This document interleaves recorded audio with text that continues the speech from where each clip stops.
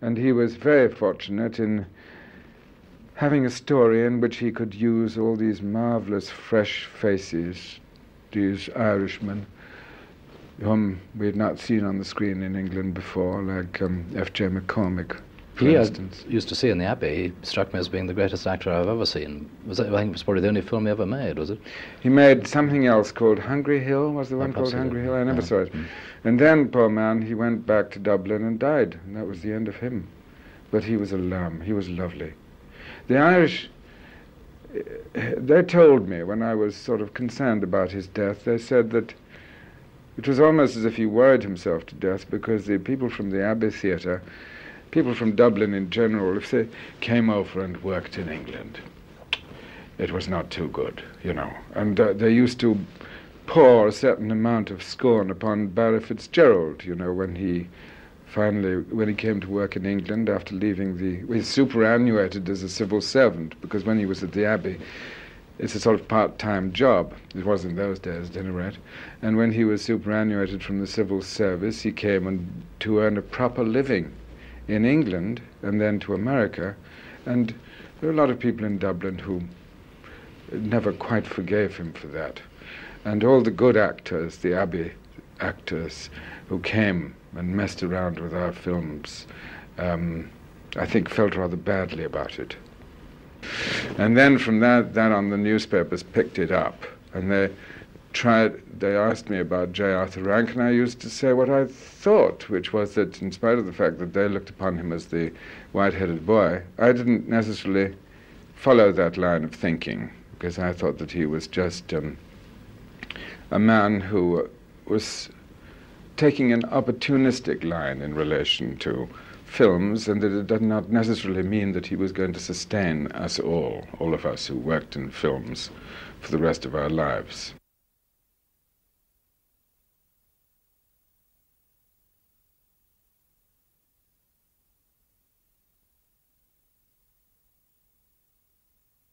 What about your last film in, in England? Do you remember The Upturned Glass, which actually appeared in. Well, The 47? Upturned Glass was an interesting adventure.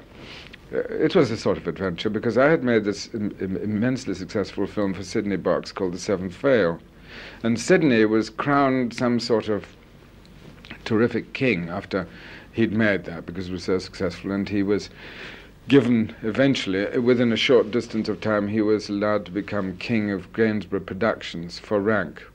And in the meantime, on the on the on top of this great success with Seventh Veil, he knew that he could produce for the rank organization anything he chose to, and he had to line up a program of products. And so he said to me, "If there's anything you want to make, by all means, let me know, and we'll just go ahead and make it."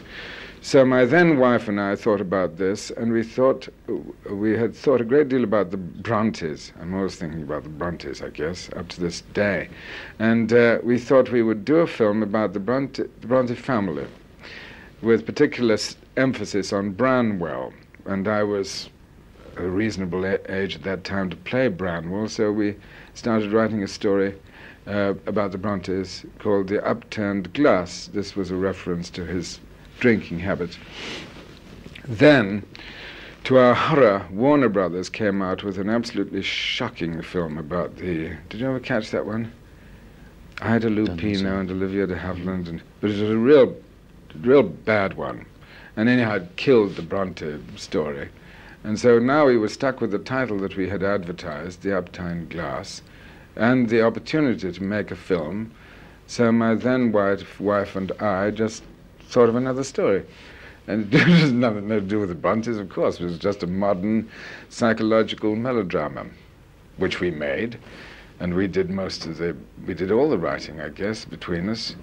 And uh, it was quite successful and quite gratifying. I mean, it wouldn't hold up today if you saw it. You'd think, what a lot of rot that is. But nevertheless, it uh, passed muster at the time. A lot of people gave it good reviews, and it did um, good enough business.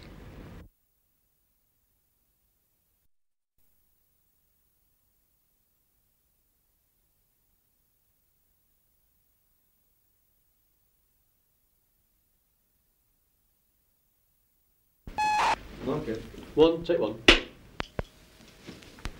Yes, please, Brian. That winter, 25 years ago, you were quoted as making some blunt remarks about the British cinema. Do you remember what they were? Can I have a mm. slight pause? How much we got? I wanted to go back just do one of. Two, take one. Why didn't they make more of British films after the war with all the stars they had and the facilities they had? Well, they had a limited number of good directors at the time. It was predictable how many good films there would be in any given year because you knew that Michael Powell and Pressburger would come out with some good ones. Uh, a good film, let's say. Um, Gilliat and Launder, Carol Reed, David David Lean, who was not quite such a surefire success as he is now, but nevertheless you could rely on that amount. Possibly Terry Rattigan and Tony Asquith and that was about it. But you didn't expect any anything great to come out of um, the people who were making the run-of-the-mill pictures, the ordinary comedies or the ordinary Gainsborough pictures, in fact, the kind that I was involved in. Looking back, the, the, the male stars of the period were, were of a higher quality than the women, who tended to be rather of a piece, the English rose style. Would you agree to that? Well, I don't think there's ever been quite as many um, interesting lady film stars, certainly on the British scene, as there have men. I think the same applies today, doesn't it? There are lots of great young men, whereas there are not so many great young women. But at that time, it seemed that they. We'll cut it. They're running yeah. change it. Okay. Expand, expand. Right. Okay. Three. Take one.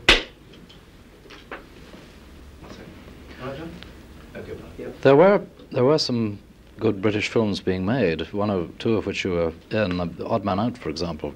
Yes. Have you recollections of that?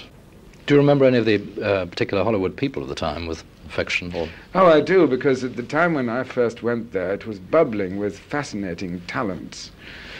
Um, there were lots of leftover Germans, for instance, and uh, Um, uh, European movie makers who, had been sitting it out in, in Hollywood making movies, like Max Ophuls, for instance, who was a big cult name nowadays. At that time, he was just an unfortunate refugee who tried to make a, a go of it in Hollywood and hadn't and never succeeded in making a successful Hollywood picture. Although I liked him very much and he had great style, which he was able to develop when he came back to Europe and made La Ronde and eventually. Um, that damned film, which I didn't like very much, but which the young cine, uh, you know, the Cahiers du Cinema boys and all those young people think is just the last word in movie going. Um, ma, um, um, never mind, forget it. Anyhow, there was him, and then there were great people like Preston Sturges, who I thought was one of the few veritable geniuses of Hollywood. Hmm. Just change the Okay. Yes.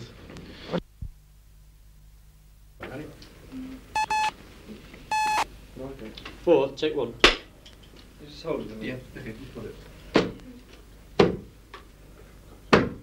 Well, this later, Can you pick that up? It's a loose roll. Okay, we go on then. Don't bother. No, no, this is. No, no, it's alright, we're going now. Tell me where Okay, carry on. Okay, Brian. There used to be a, an English colony in Hollywood, also, we were always told in the papers. Did you mix much with them, or...? No, because it was, it was almost um, coming apart by the time I arrived. You're referring to the C. Aubrey Smith? Yeah. Mm-hmm. Cricket, cricket style colony, which um, Evelyn Waugh wrote about in The Loved One. Well, The Loved One was about 1946, I suppose, wasn't it? It was just after the war, I think. Mm. Uh, but nevertheless, it was, it was coming apart. There was just a bit of it. There were people who shall be nameless who uh, kind of acted English upper bourgeoisie and put on dinner jackets for dinner and um, all that sort of thing did go on. Not exclusively among the British, but sort of would be British uh, people. Uh, but I, I, didn't come in for much of that. I didn't have many English friends, I don't think. They were mostly these people like. Um, Ophuls and Robert Siodmak and, and Preston Sturges. I never made a picture with him, but we'd been in correspondence. He had asked me to make a picture while I was out in the cold on account of that lawsuit that I mentioned. And so we become, became friends, and I found him a very entertaining man, a wild, fascinating man. Um, Were there any particular Hollywood personalities you remember the, in the, among the actors? And no, I didn't know many actors very well. Van Heflin we used to see quite a lot of socially, but uh, no, nothing much there. You didn't I- lead the the uh, swimming pool life then. No, we, we, we were into a sort of wealthy suburban life, I suppose. And you'd find yourself, rather to your surprise, having dinner or going to a dinner party at somebody's house like Jack Benny. And we didn't really know him very well, but it was just part of the social level that we were entitled to on account of being in a certain income bracket, I guess. It's very weird. And uh, there was certainly not much change, not a great deal of range to our social life. You didn't at that time want ever to direct yourself, not direct yourself, but do. well, I've never really pushed the directing thing very much. I used to, I did at one time direct some television things and filmlets when I was in Hollywood, but I was really principally out of boredom and frustration more than anything else that I did that. I've always had a great deal of respect for the leaders of a craft, and I would much rather uh, leave it to the experts rather than meddle myself. I certainly wouldn't want to direct myself if I could possibly avoid direct with myself acting, because no matter how trivial the piece of acting that I'm contributing may seem to be, it all takes from me a great deal of concentration, and I know that if I were trying to direct at the same time, that the whole thing would end up as a dreadful mess, and I would, uh, one or other, or possibly both, would suffer. I directed myself in stage plays occasionally, and I found that even there I suffered terribly because I would be thinking of the other people all the time instead of concentrating on what I was trying to do on the stage. Okay. Mm-hmm. I'll cut that, please, John.